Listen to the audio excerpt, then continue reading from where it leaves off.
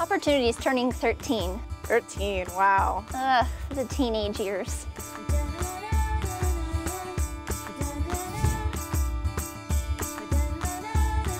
Opportunity has turned into quite the mountain climber.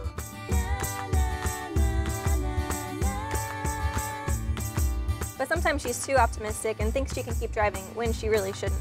Like a typical teenager, she tends to think she's invincible. Sometimes she stays up really late talking to her friends, Odyssey and Maven, the Mars orbiters.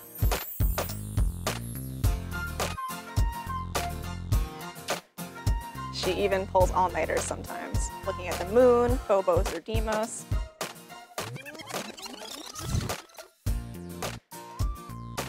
Opportunity loves to document everything. She just loves to share pictures.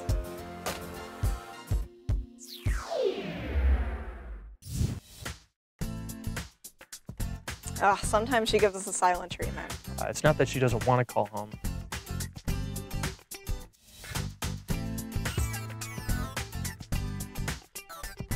We know Opportunity's been up to something because there's less energy in the batteries than there was when she called home.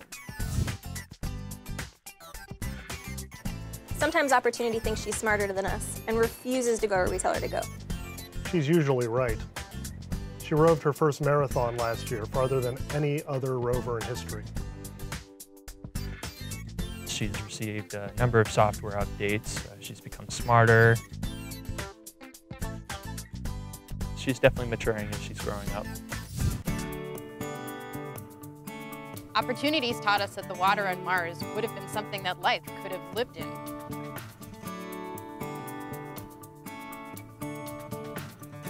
Congratulations on becoming a teenager opportunity. Here's to at least another 13 years of exploring Mars. Happy 13th birthday. Happy birthday, Opportunity. Remember the day you landed like it was yesterday.